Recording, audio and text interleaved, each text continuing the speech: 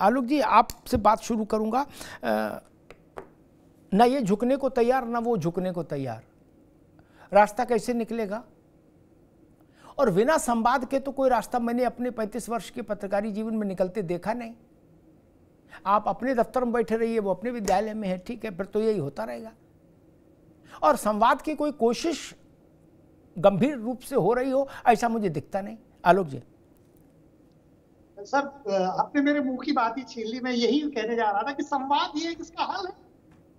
संवाद के सिवा कोई रास्ता नहीं, और जिस तरह से दिखाई दे रहा है, वो संवादहीनता की स्थिति है। लोकतंत्र में संवादहीनता अच्छी बात नहीं है। शिक्षक और सरकार के बीच में संवादहीनता और अच्छी बात थी लेकिन प्रश्न ये मैं इस टॉपिक में जितना मैं संकोच किया मतलब मुझे तैयारी करनी पड़ी बहुत ज़्यादा, मुझे लगा बोलू क्या? क्योंकि कभी सरकार सही लगती है और कभी शिक्षक सही लगते हैं। सरकार इसलिए सही लगती है कि एजुकेशन व्यवस्था में बच्चा प्रमुख है स्टूडेंट प्रमुख है, वो बालक प्रमुख है। बालक बैठा रहता है अनअटेंडेड टीचर लेट हो जाता है। एक एक स्कूल में चार टीचर चारों लेट मतलब दो घंटे बच्चा बैठा हुआ बाहर अनअटेंडेड चारों के चारों लेट है, उनमें कॉम्बिनेशन नहीं बन पाया। एक और स्कूल नहीं पहुँचा। मेरे घर के बगल में प्राइवेट स्कूल है कुर्नी गाँव, कानपुर में। कानपुर नगर, नहीं अनअटेंडेड बच्चे बैठे रहते हैं। तो ये भी है सरकार उसको अगर कंट्रोल करती है टीचर को रेगुलर करने के लिए, क्या समय से तो जो प्रॉब्लम आ रही है कि नेट नहीं है रोड नहीं है, इस वजह से तो ये प्रॉब्लम सरकार देखी ऑनलाइन में आप समय से आए समय से जाए ये बाध्यता तो होनी चाहिए क्योंकि तो सरकार ने पिछले सात सालों में बहुत अच्छे प्रयास किए कि आप समय से आइए। लेकिन मुझे ये कहते हुए दुख होता है मेरा मित्र है नाम ले लूँगा नहीं उसके ऊपर कार्रवाई हो जाएगी। महीने में दस दिन पता नहीं जाता पता नहीं कैसे बी से मैनेज करता है। तो ये बड़ी प्रॉब्लम है सर। ठीक आलोक भाई। उसको कंट्रोल करने की कोशिश कर आऊँगा आपके पास मैं विजय बंधु के पास चलूँ फिर दोनों राजनीतिक मित्रों के पास चलूँ उससे पहले एक जानकारी रखूँ। क्योंकि कई बार जानकारी के अभाव में चीज़ें एक पक्षीय हो जाती हैं, एकांगी हो जाती हैं। यह जो सरल रास्ता होता है उस पर सब लोग चले जाते हैं। महाजना एन गता सपंथा जिधर सब बड़े लोग जा रहे बोले, उधर ही सही है। प्राइमरी स्कूल का टीचर क्या क्या करता है? इसमें पढ़ाई छोड़ दी मैंने अभी। आलोक जी, आप समझो। विजय बंधु को पता ही है। हमको एक ने भेजा, अध्यापक ने। बोले, भाई, सबका आधार सत्यापित करो। फिर वो ऑनलाइन करो। जिनका आधार न बना हो, उनका स्वयं आधार बनवाओ। खाना बनवा कर खिलाओ मिड डे स्कीम में। दूध, फल, सब्ज़ी लाओ मंडी से। ठीक। पुस्तकें बांटकर ऑनलाइन फ़ीड करो, अभिभावक का आधार फ़ीड करो, बैंक से सीड कराओ, बाल गणना करो, जनगणना करो, निपुण लक्ष्य हासिल करो, बिना सफ़ाई कर्मी के लेटरिन को स्वच्छ रखो, पेयजल की समुचित व्यवस्था करो, बोट बनाओ घर घर सर्वे करो, मीटिंग में जाओ, ट्रेनिंग करो, चुनाव के पहचान पत्र बांटो, चुनाव की पर्ची बांटो, चुनाव भी निपटाओ, काउंटिंग भी कराओ। विद्यालय की मरम्मत कराने की ज़रूरत हो तो मरम्मत कराओ। एक एक पैसे का हिसाब दो। पोलियो ड्राप आ जाए तो वो भी पिलवाओ। बोर्ड परीक्षा में जाओ। ये सारे काम ऑफलाइन करो और फिर ऑनलाइन हाजिरी लगाओ। बोलो, सिया रामचंद्र की जय। तब ये टीचर के काम है। ये टीचर के काम है। सफ़ाई कर्मी नहीं, लेटरिन स्वच्छ साफ़ क्यों नहीं है? बीएसएस साहब आए झांका, बोले सस्पेंड करो। पाँच टीचरों को, बोले, टट्टी साहब क्यों नहीं है? इसलिए भर्ती किया था टीचर को। बाल गणना जनगणना बुढ़े की गणना जवान की गणना सब अध्यापक ही करेगा। कल को उसको गाय, बकरी और भेड़ की जनगणना में, अरे गणना में लगा दोगे? ये चाहते हैं क्या? कि भाई मास्टर है, बोले इसको कहो कि ऑनलाइन हाजिरी लगाने के बाद सारी बकरियों की गणना करे और ऑनलाइन फ़ीड करे। ये चाहते हो क्या? और एक सवाल, तराजू ठीक रखिए। राघवेंद्र जी के पास आऊँगा तो पूछूँगा, अभी आप फ्लोर फ्लोर पर रख देता हूँ सवाल। राघवेंद्र जी तब तक तैयारी कर लें। ये छह लाख अध्यापक किससे नियंत्रित है? बेसिक शिक्षा निदेशालय से। बेसिक शिक्षा निदेशालय में ऑनलाइन हाजिरी लागू है? हाँ या ना, वो उत्तर देना होगा मुझे। वहाँ से चलो डायरेक्टर ज्वाइंट डायरेक्टर का ऑफ़िस से होते होते जिला के बेसिक शिक्षा का अधिकार ऑफ़िस और फिर खंड शिक्षा अधिकारियों के ऑफ़िस, निचली इकाई। उनके सबके ऑनलाइन लग रही है? और अगर उनके यहाँ ऑनलाइन नहीं लग रही तो शिक्षक को फांसी पर चढ़ा दोगे? बोले, ऑनलाइन नहीं लगाओगे, तनख्वाह रोक देंगे तुम्हारी। ये तरीका ठीक नहीं और मंजूर भी नहीं होना चाहिए। पहले सास करके दिखाए तो ना बहू करेगी। क्या वहाँ लागू हो गया? हो गया तो सरकार बता दे। मैं अध्यापकों से अपील करूँगा कि भाई आपके जब बड़े ऑनलाइन हाजिरी दे रहे तो आप क्यों नहीं देंगे?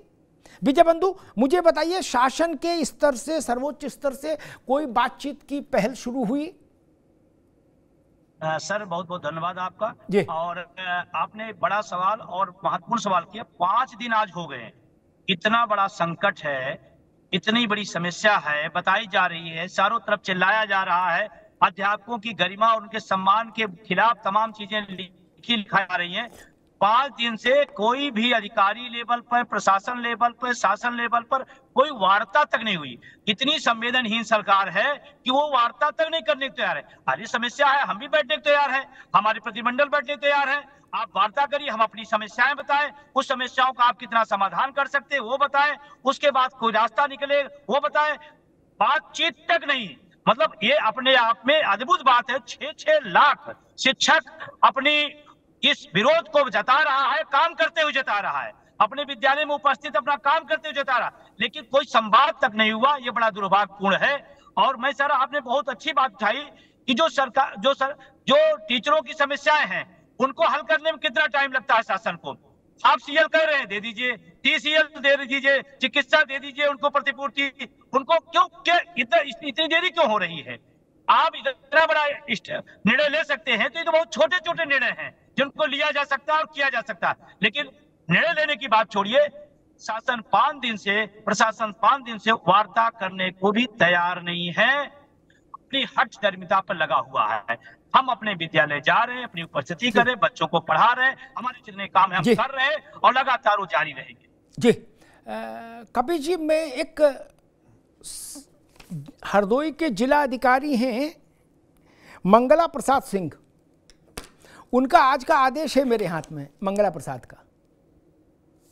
इसमें तिरासी स्कूल हैं हरदोई ज़िले के, जिनको 18 तारीख तक के लिए बंद कर दिया गया। मालूम है क्यों? वो टापू में तब्दील हो गए। ऊपर जल, नीचे जल, मध्य में जल जल ही जल। वहाँ पहुँचना संभव नहीं तो डीएम ने तिरासी स्कूल बंद कर दिए। वहाँ ना ऑनलाइन हो सकती, ना ऑफलाइन हो सकती, वहाँ लाइन ही खत्म हो गई।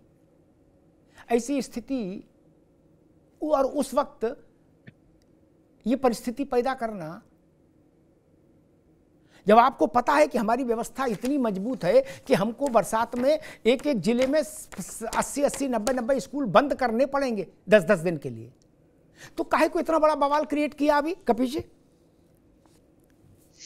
अमिताभ जी, सबसे पहली चीज़ तो ये है जब लोकतंत्र में राजतंत्र स्थापित किया जाता है तो उसका सफल उदाहरण मोदी और योगी शासन है एक एक करके सारी जनता के साथ इन्होंने वही व्यवहार किया है। और टीचरों के साथ जो ये व्यवहार है, आपको एक बात बता दें, क्योंकि भाई हम लोगों के भी रिश्ते में तमाम टीचर्स हैं। और हम लोग रोज उनकी मुसीबतों से दो चार क्योंकि हम लोग कोई बड़े अंबानी घर से नहीं आते। आपको बता रहे हैं कि इनसे शिक्षा के अलावा सारा काम करवाया जाता है। और इनके यहाँ यह है कि king can do no wrong हमने अगर कोई आदेश कर दिया तो वो तुम पे लागू होता, हम पर नहीं लागू और ना आप कह सकते हो कि गलत है। भाई, राजा जो कहे वही कानून। लोकतंत्र होता तो दूसरे पक्ष की भी सुनते। ये एक ला का सुविचार नियम है। एट द आटम पार्टम माने दूसरे पक्ष की भी सुनो। ये साहब दूसरे पक्ष की नहीं सुनेंगे। ये एक ही पक्ष की सुनेंगे, बस आदेश दे दिया, आप जाओ करो। तुमको कह दिया कि जनगणना करना है तो जाड़ा, गर्मी, बरसात, चाहे कैसा भी मौसम हो, तुमको करना है, इतने दिन में देना है तो देना है। इनकी फिलॉसफी ये है कि ये जो सरकारी नौकरी है, इन नौकरों से बहुत चिढ़ते हैं। और उसका कारण है चिढ़ने का। पूछ लेते हैं कि अरे भाई, शिक्षकों को बताओ एबीसीडी पढ़ा रहे हैं और ये प्राइमरी शिक्षक है एर्थ वाले शिक्षक हैं, इनको सत्तर सत्तर हज़ार रुपया मिल रहा है। क्यों भाई, किसानों? अगर इनको दस हज़ार रुपया कर दिया जाए और आपको उसी का खाद थोड़ा कम कर दिया जाए, कहना है तो कैसा रहेगा पीछे से? योगी, मोदी, योगी। तो ये इनके सिस्टम में ये काम नहीं करते। शिक्षकों से बेजा काम करवाया जा रहा है। और आप मुझे बताइए टेक्नोलॉजी स्तर पे है क्या? आप मुझे बता दीजिए, इनकी रजिस्ट्री ऑफ़िस में रजिस्ट्री नहीं हो पाती हम तो एक प्रैक्टिशनर लॉयर हैं, इसलिए आपको कह रहे हैं। रोज उस तरीके की चीज़ों से दो दो चार होते हैं। जहाँ से ये अनुभाग कमाता है, दिन का दिन सर्वर फंस जाता है। और पता चलता है, दो रजिस्ट्री हुई, चार रजिस्ट्री हुई, और ऑनलाइन आपने कराया हुआ पिछले दिन चल रहा था तो पता चला 200 रजिस्ट्री जो है ऑनलाइन है और होती दस है ठीक बात कपिल जी। जो- अ, मैं राघवेंद्र जी के पास चलूँगा। राघवेंद्र जी दो बुनियादी सवाल जो मैंने उठाए कि पहले गोमुख से गंगा चले तब गंगा सागर जाए। आप गंगा सागर से वो गोमुख ले जाना चाहते हो गंगा? कंचन वर्मा जो हैं वहाँ से ऑनलाइन हाजिरी शुरू कराओ। डायरेक्टर जनरल बेसिक शिक्षा। और होते होते खंड विकास शिक्षा अधिकारी तक ऑनलाइन रखो। उन सब में ऑनलाइन करा दो, जिस दिन करा दो, उस दिन बताओ तो हम लोग भी पैरवी करें शिक्षकों से कि भाई आप अब भी ऑनलाइन आ जाओ। एक, दूसरा, सत्ताईस काम मैंने गैर शिक्षण के बद गिनाए आपको अभी। क्या? जनगणना से लेके मतगणना तक। अब पशुगणना बची है, वो भी शायद इनके हिस्से ही आएगी, जहाँ तक मुझे लगता है, जब भी होगी। सत्ताईस काम वो जो पढ़ाई से जिनका कोई वास्ता नहीं। और तीसरी बात ये कि पाँच दिन हो गए, छह लाख अध्यापकों का प्रश्न है। इसके लिए तो मेरे ख्याल से अधिकारियों को किनारे करके राजनीतिक पहल होनी चाहिए थी संवाद की। अधिकारी तो छोटी चीज़ है। नहीं, राघवेंद्र जी, लोकतंत्र में इसके लिए तो सर्वोच्च स्तर पर पहल हो जानी चाहिए थी पॉलिटिकल लीडरशिप के साथ। नहीं। छह लाख लोग सड़क पर हैं। छोटी बात है क्या कि डीआईओ निपट लेगा कि बीएसए निपट लेगा कि कंचन वर्मा निपट लेंगी? राघवेंद्र भाई।